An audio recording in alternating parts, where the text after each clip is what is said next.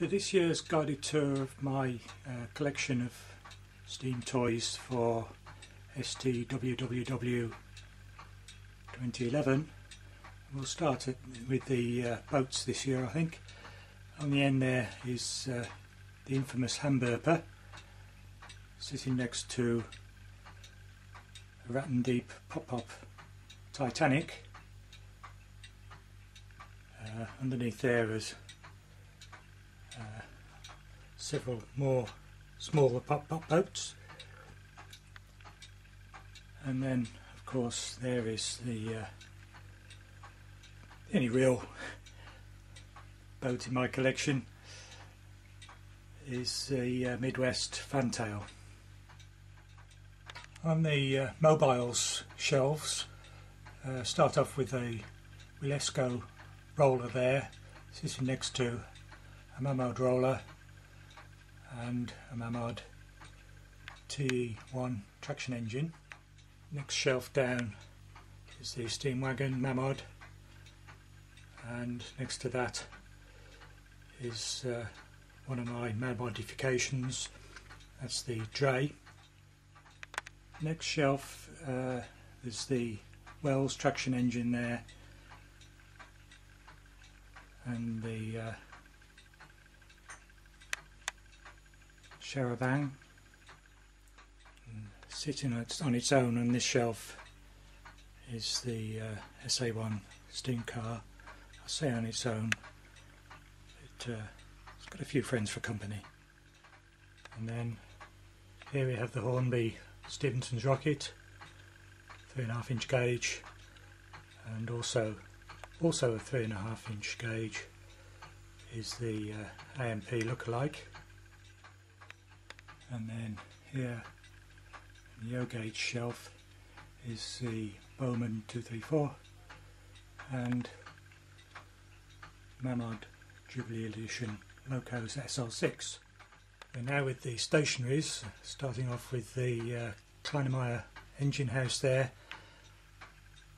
and the rest of that shelf is taken up by a row of SELs and then on this shelf we have uh, Opitech sitting next to an engine there which is uh, as yet still uh, unidentified but I'm pretty sure is uh, mostly scratch built and then we have Latimer playing L4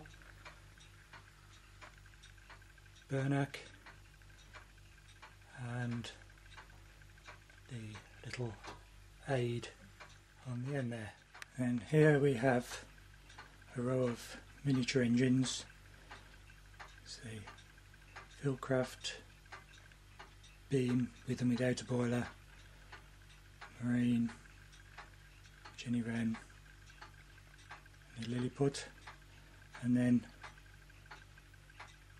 we have a row of Ben Peaks engines Starting off with the micro there, my latest acquisition, minor, major,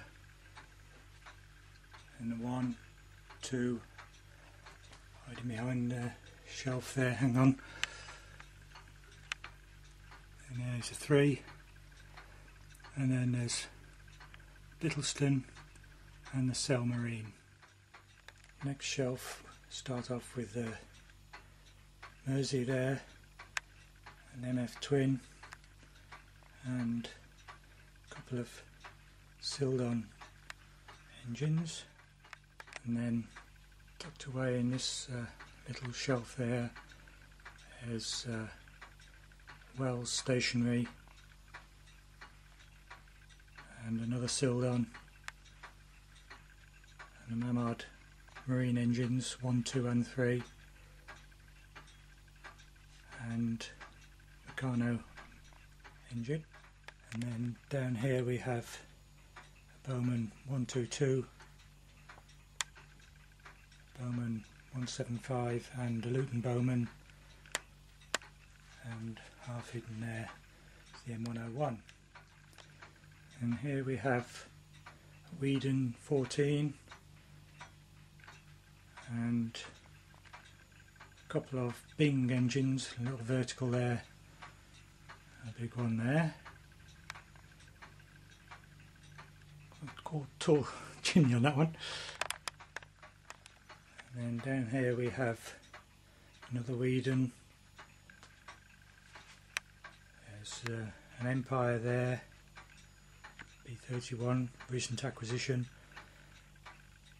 Jensen 70 and Robert Fulton line and then uh, the bottom shelf here we have uh, it's an East German engine I can never remember the name of the manufacturer something like VB Pump and Brow something or other but it's a D 1.5 anyway and then sitting next to that is the Swedish John, Ericsson engine.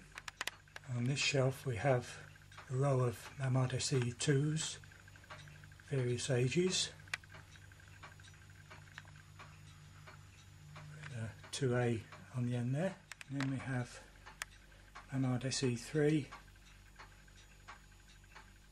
the SE3C, three. Cylinder version, and the sectioned SE3 and then here we have SE4 sitting next to white SP4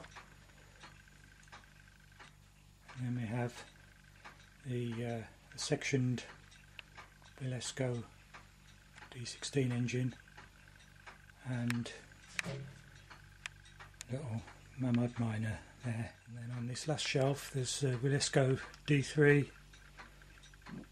D6 and D16.